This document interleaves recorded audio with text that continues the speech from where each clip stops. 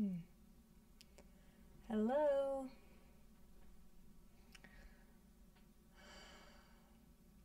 Hmm.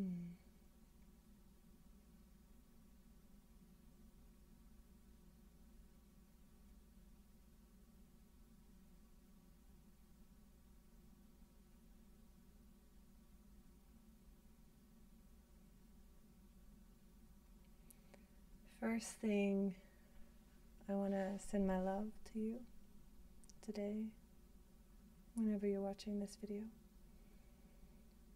Hmm.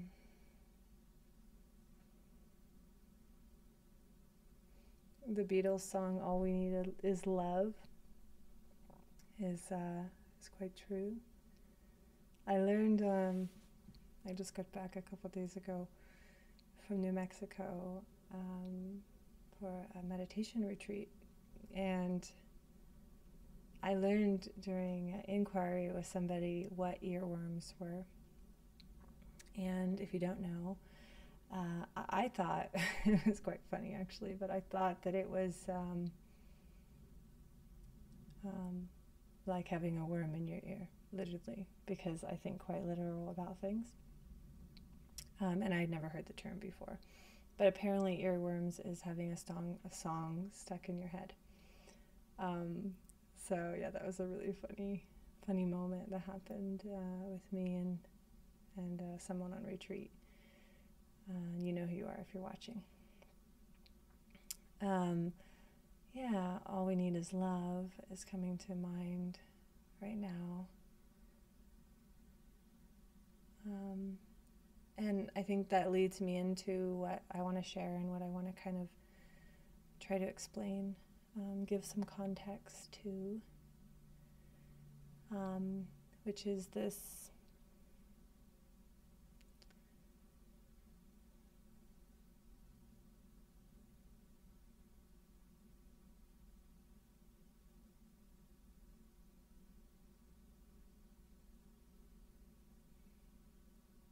it's like the the awakening the truth is within that which we don't want to go to. Um, it's not really want though. It's it's more like it's in the places that we've been taught habitually that are so ingrained into our approach to the moment to moment experience um, unconsciously, unconsciously driven into our body language, into our verbal language, our internal language.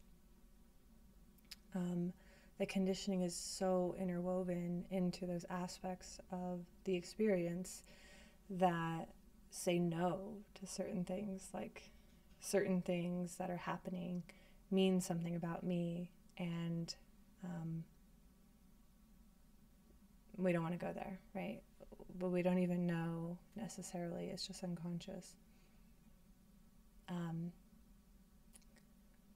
or we think they're the parts of us that need to be healed or need to be fixed.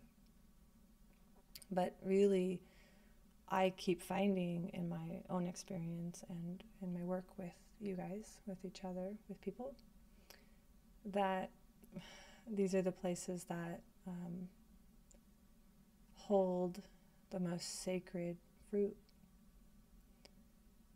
Um, that the most sacred aliveness, the, ma- the most sacred love, and is also the places that are most deserving of this sacred love and the sacred aliveness. Um,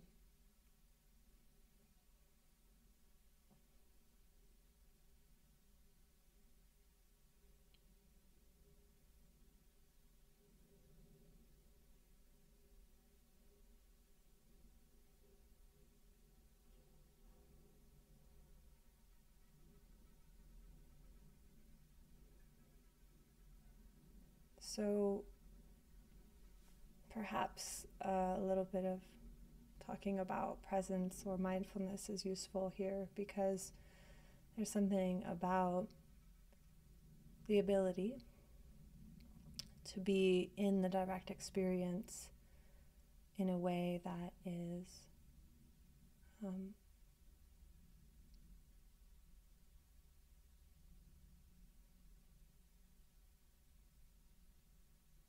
open, curious. Um, and I think it takes a bit of time to get to that place where there's not resistance happening in your experience as much. There could be some resistance, certainly, but um, get to a place where the resistance has settled, um, or even get to a moment where the resistance has settled. Um, that may be through a mindfulness practice, through a breath practice like breathing uh, or somatic inquiry or um, moving the body or just um, whatever it is that helps sort of down regulate the nervous system, um, surrender some resistance to the experience that can allow the openness and curiosity of true nature to to even be here, to even be possible in in the direct experience. Um, because if there's a lot of resistance in the field, then there's a lot of pushing and pulling happening, and not seeing clearly. Ultimately, you know, um, the identity is another aspect of it, which is like such a limiting factor that prevents clear seeing. Um, and so what this leads me to in this conversation in this context is is this idea that we often get like it, maybe it sounds like i'm saying we need to get rid of resistance. But more so uh, i'm not saying we need to get rid of anything actually. So if resistance is what's here or whatever is what's here, right? It's it's approaching this moment um,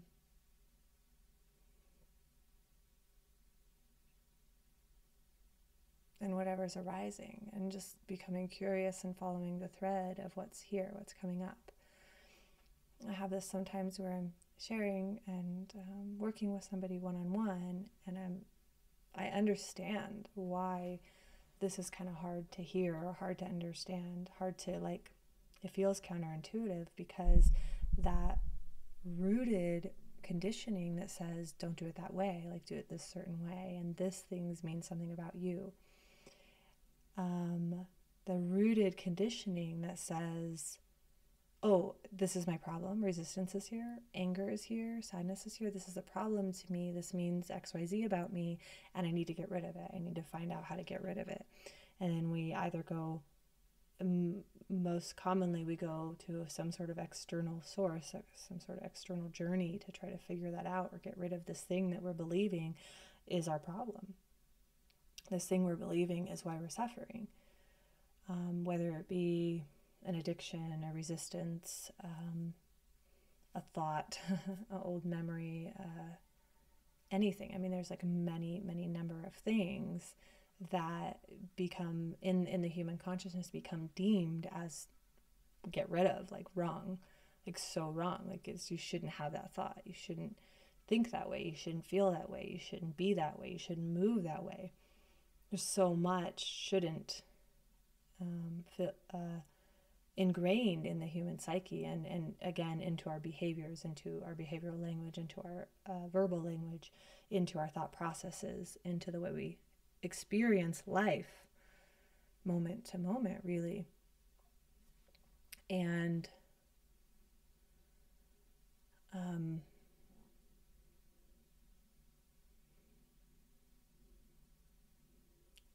it's ca- that that ingrained process conditioning is what makes it feel counterintuitive what I'm saying. When I'm saying go towards that which is here. Like if frustration is here, then it's it's sort of it to me it feels like the approach of true nature is to like go ooh frustration what's that let me see what that is let me see what happens when i allow myself freedom because true nature is free, you are free. When I allow that freedom to be with what is without needing to fade it or fix it or change it in any way, but being open and curious. What is this? What, what happens when I feel frustration? Like, how does my body respond? How does my body want to move?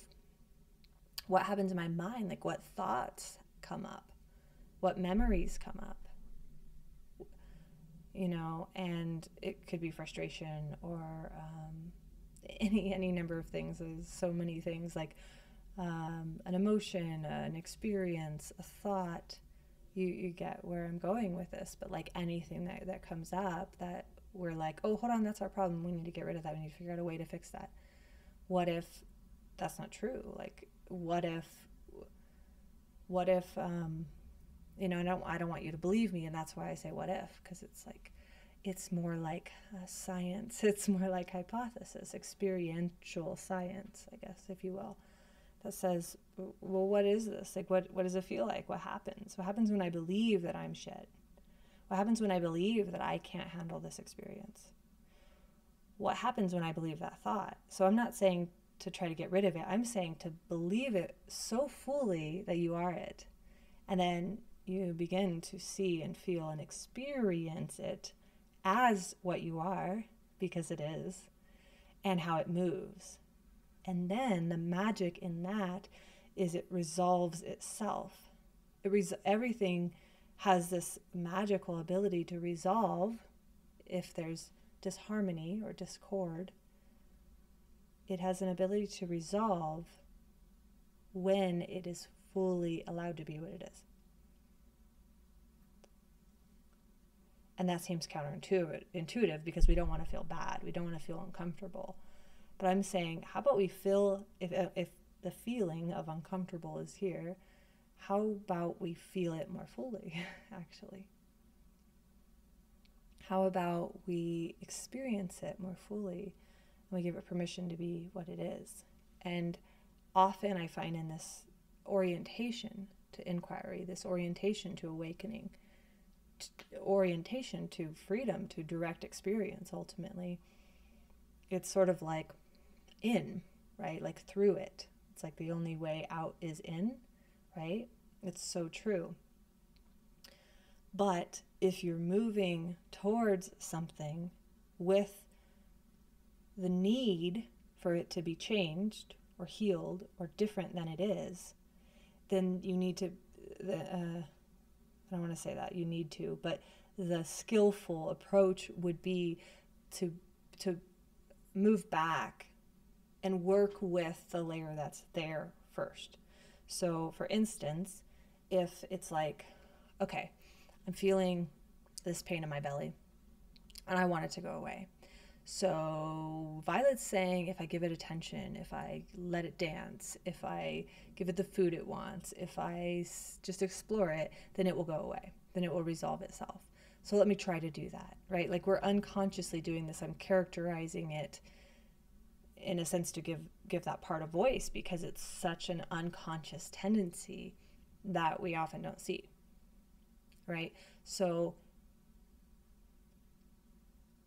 it's sort of like or it is like true nature moves towards without the model of right or wrong at all like true nature doesn't understand right or wrong true nature um, understands harmony or disharmony, I guess you could say, or balance or out of balance. But even giving it those designations is too much dualism for what it really is. But it's as close as I can get with language because right or wrong has like such a different vibe to it. So I'm experiencing this sensation in my belly that I don't like, or I'm having this thought that I don't like. Um, or I'm suffering and I don't like it. And I'm going to try to like do something to make it go away or make myself feel better. Instead of make trying to make yourself feel better or instead of trying to make this go away, I'm saying what would it be like if I it, it, like flipped it entirely. It's like um, feeling this feeling of inside out, like entirely inside out. Like, what would it feel like if I allowed myself the permission to not like this experience. And period, right? Like nothing more. Like, not, I don't like it and I'm going to try to fix it. Because most of our lives, we're spending our time out here in the landscape, in the forest, in, in the, the horizontal plane of time, um, in the relative life, trying to figure out what next thing I need to do to help get rid of this thing that I don't like or help fix me on some level that I am, am interpreting that I'm broken in or I'm unhealed in. Um, so we're spending our lives out out here in this landscape, and I'm saying, why don't we just like, I just don't fucking like that I'm in pain. I just hate it that I'm in pain, actually. Right? Like fully like find a way to like not like it so hard, like so full. Like I just don't like it. Like fully what would it be like to fully not like something and not like like it's like sort of like underneath it all we're not liking it but we're not fully acknowledging that we don't like it because we believe we should be liking it or we believe that we shouldn't be trying to heal it or the other example is like i really want this to heal here's an example that was really useful for me in my path or just how it unfolded was I have had chronic illness for many, many years, and it is a very challenging body to live in, a chronic illness body. But I will tell you, an identified body, uh, having the structure of identity and having chronic illness is a wildfire. It sucks so bad. But this body still has chronic illness, and there's no pushing or pulling against it anymore because the limiting factor, the actual suffering factor, was the identity that isn't there anymore. So the body still feels illness. The body still has challenges with chronic illness for sure. And it's also a lot less because of the identity isn't there. But I don't, it, it's not um, illnesses that are, um, that can entirely heal in a way, right? But the experience of the illness is, is night and day difference. But how did I get there is the question right? Like, how did I get to like equanimity with being in pain and equanimity with having gut issues and equanimity with having these challenges with with all of the functions of my body through this illness? How did I get there to have equanimity with that? Well, it was many, many times of hating it, of absolutely hating that my body was sick and that I couldn't do what I wanted to do but there was many times of like hating that but trying to not hate it because I believe that I shouldn't be hating it or that I believe that I was helpless to it or couldn't do anything about it. And there's many loops in what I'm saying and I'm kind of vaguely touching on different things here, but when I was like I don't I don't even know how it happened, but somehow I realized oh my god, I'm approaching this with a need for it to change. I'm trying to change reality and trying to put personal will onto reality is just like it's like the dumbest thing in a way. Like it just doesn't work. It doesn't work at all not one bit. It really creates a lot of suffering right because it personal will is like such a like if i were to compare it like say this is personal will this small little energy ball that's personal will and then reality is everything else so, this trying to push against reality creates chronic illness, creates suffering, right? It, it creates this like very unappetizing experience of being in life, being human, being in a body, being in a mind. Like, it just is a terrible experience, as most of you know if you've suffered for any, even for a moment, and most humans suffered for more than a moment for sure. Suffering fucking sucks. But again, when we're trying to fix suffering through believing it shouldn't be there or believing that it's the culprit, it's the it's the thing that's making everything bad. In a way that's true, right? In a way it's true. The suffering is what makes the experience very uncomfortable and very bad. It's very true, right? And yet, if you approach it with the right or wrong model, then you're you're never going to solve it in a sense. Like it's never going to resolve. It's only when things are allowed to be what they are do they resolve. So I had to some you know I don't know if you've heard ever heard uh, Angelo say sometimes you need to suffer more, and that's very true, because um, there were parts of my my own experience with chronic illness that I definitely needed to suffer more, which is a hard pill to swallow. And I don't know that I realized it at the time. It was just what was happening. But in retrospect, I can see that, like, until I had exhausted that personal will pushing against reality, which reality was showing up as illness, right? the reality was manifesting how it was manifesting and i was trying to push it away try to heal it try to find the next modality that will make me feel better i was trying to have a different experience than the one i was having but uh, i guess two two components here that personal will does not actually exhaust itself until the self structure is entirely crumbled, entirely seen through.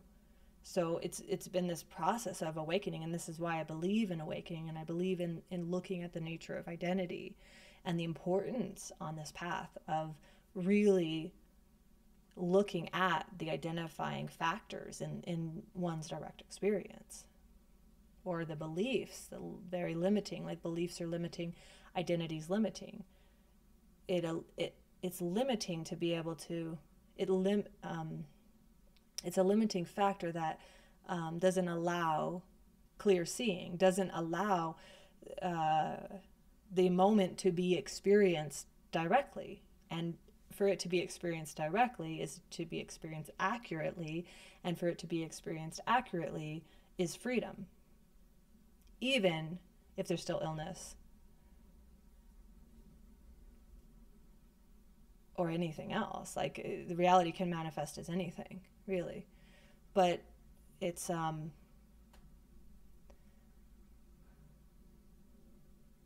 don't believe now from what I just said that oh that means I need to get rid of identity. It doesn't mean you need to get rid of identity.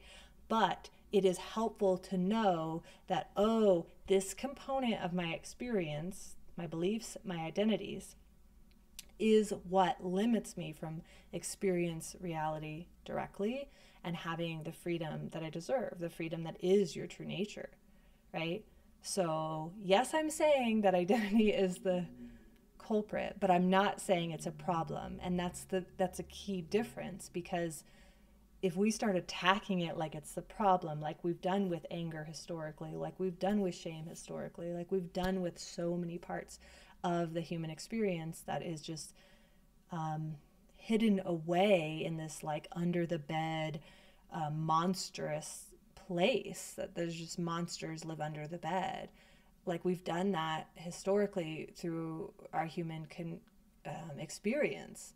That's just how the conditioning has manifest we've made things demonized. We've made things wrong. You know it shows up in in every way of like our religion and our communication. And like there's certain things that are acceptable to share with with somebody and there's certain things that are not. So you have to hide your shame and apologize for being direct. Or you know again i'm, t- I'm kind of like i feel like i'm petting a lot of different things. I'm touching on a lot of different things in the point of what i'm saying. But if we make if, if we can acknowledge it's important to acknowledge that like this identity aspect of my experience is what creates suffering. It's true. It is absolutely true. And yet if we approach it like it's something that we need to get rid of then um, we're missing the mark for sure. So it's more so coming into your moment to moment experience, acknowledging what identity even is, what it feels like, what the experience of it is, what thoughts arise that are identity thoughts. It's about clear seeing, if anything. If I were to say it's all about anything, it's about clear seeing. To see what does it feel like when I identify? What does it feel like when I identify with a, as a mom? What does it feel like when I identify as a girlfriend? What does it feel like as an I when I identify as a someone? What does it feel like when I identify as a non-someone, right? Which is the same thing. All are the same. All identity is created equal, treated equal in a way. it all comes from the same space, the same thing. Um, so, what does it feel like when I allow myself to hate my mom, which is something I had to do on my path? What does it feel like when I allow myself to have compassion and love her, which I had to do on my path too, right? Um, it's really giving yourself permission to experience everything so fully that you are it. There's no separation anymore. There's just that experience. When I allowed myself to hate my mom, there was all there was was hatred. When I allowed myself to blame her, all there was was blame. And there's something so healing about that and freeing about that. Not this like peripherally, like, yeah, um, I know I hate her and yeah, that's her fault. And like, you know, this kind of like peripheral of it. It's like, no, like actually die into the expression of rage and hatred and let it be directed. Let its world be so clearly seen through your eyes that that's what you are. Because that's how it frees. That's that's how it's allowed freedom.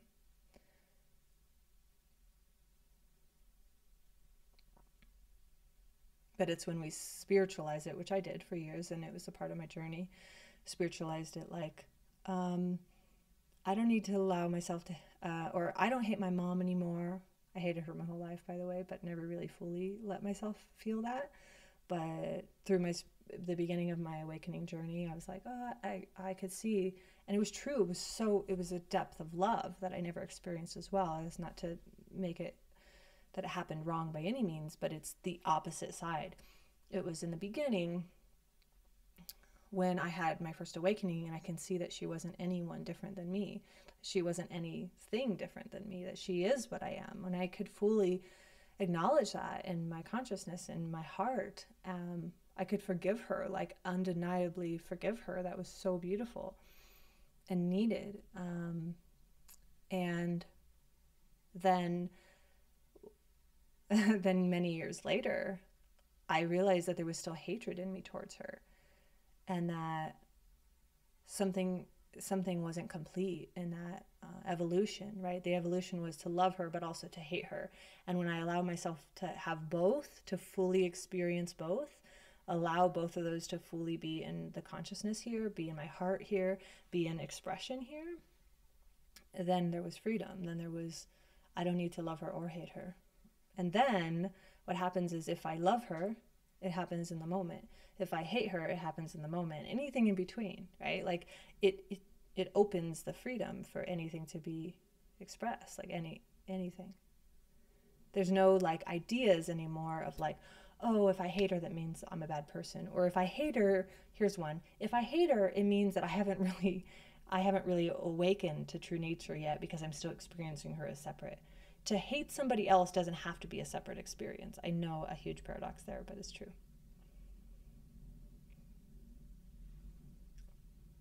But hatred is very sacred, and hatred deserves to be embodied. Yeah, that's I found the most freedom in embodiment, like bringing the insight sides, like releasing identity and awakening my heart and my mind and my gut to the insight path.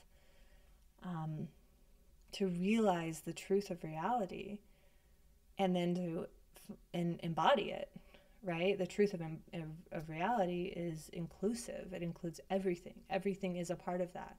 There's nothing that needs to be thrown away or done away with. There's no part of you that needs to be healed. There's no part of you that isn't isn't allowed here. And then the, the the thing that I, I feel so grateful for. My goodness, the ability, because of that, the ability to go anywhere, into anything, at any time, with anyone. There's no place I won't go. And that, that's not violet, that's true nature. But the, the identity, the limiting selfing identity and selfing will limits that true nature to move as it does. And when that's not there, there's just this movement, there's just this freedom of there's no place I won't go. So show me where you're hurting and let me hold you. Like that's really what it says. It just turns towards, turns towards, turns towards.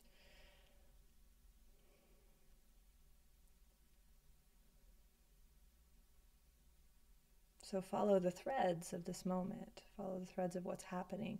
Write down, journal the beliefs that say, that you find on your path that say, oh, I shouldn't be having this experience because of this reason, right? Or this experience means I'm not spiritual. Or this experience is what means I'm not awake. This sensation is what means that I am contracted, and that means that I am not free explore it. Maybe it does mean that, but maybe it doesn't, right? And explore it. And there isn't a right or wrong. This is like my favorite thing to share is that there's not a wrong experience. There is literally only what's happening, which means the experience you're having right now is the right one. And when we can inhabit that and move through that and live within that knowing of that, the embodiment of that, then there's freedom. There's no worry of like judgment, like, oh my gosh, how will you judge me? I'm well aware that the mind is a judge has a judgmental meter in it, right? It's it's ingrained into it through safety and through conditioning, right? Judging like, oh, Violet's right or wrong right now. Violet doesn't know what she's talking about, or oh, Violet does know what she's talking about.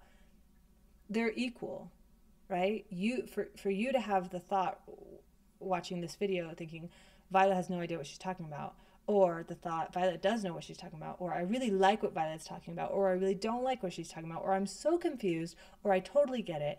Anything that's in the polarity, they're both equal. Both sides of a polarity is the same. It arises from the same space, which is the dualistic nature of thought. It's not what you are, and it's not what this is, which is good news. But that doesn't mean that you need to try to stop identifying with it. It more so means to recognize, to see clearly, to recognize what's happening. What does it feel like when you judge this video or what I'm saying or this moment? Or you judge yourself in this moment? What does that feel like? How does that move through your body? What does it trigger in your thoughts? Right? So again, I can really, I could talk about this forever because it's so beautiful. And I just feel like it has such an aliveness.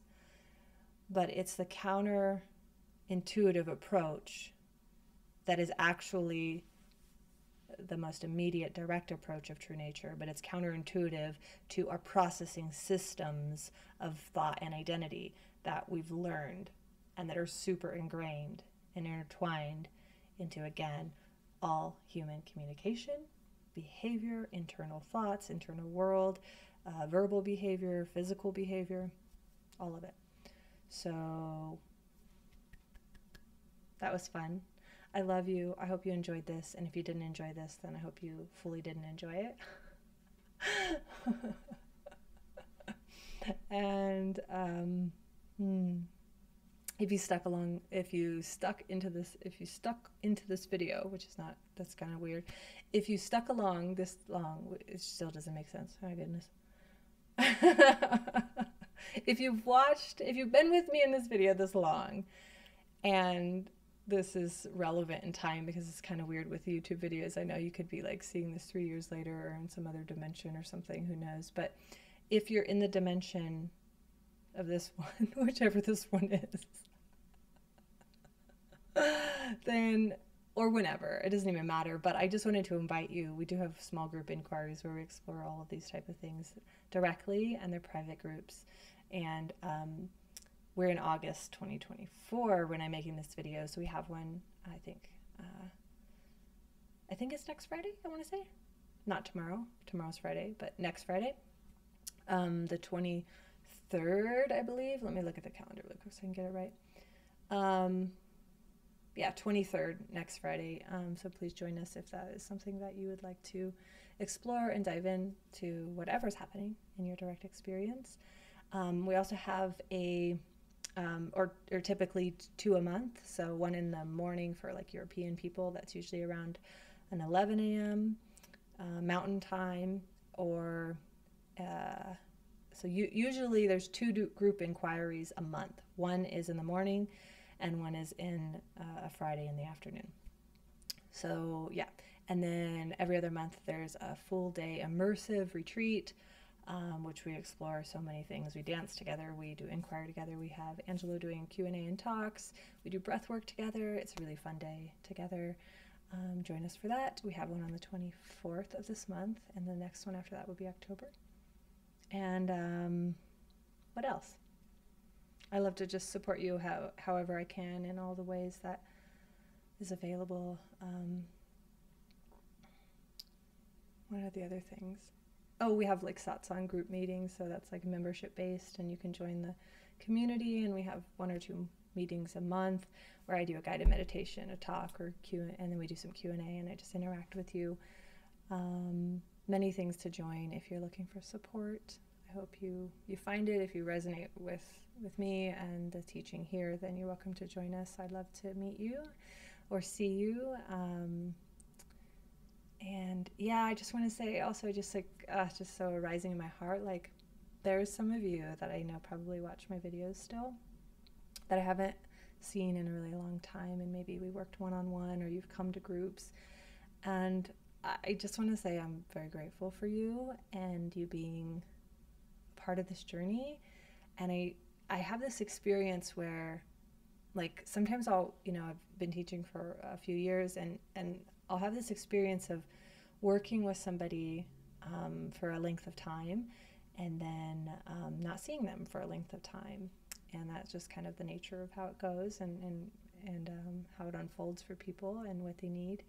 But I have this experience every once in a while of remembering somebody, even if I saw them once. Like I just feel like I could feel them. Like it's like this visceral feeling and memory. And I feel such joy and I kind of like wonder where you are in the world or what's happening for you and those kind of things. And I just feel it just feels really sweet. So I just wanted to say that I'm very grateful for um, being in these spaces of truth with you guys, and whichever way that we are. And I love you so much. And hopefully, I'll see you soon. Bye.